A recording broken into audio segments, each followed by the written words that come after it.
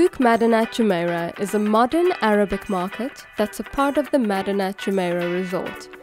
It hosts around 25 dining outlets, galleries, and stores for perfumes, lanterns, spices, and souvenirs.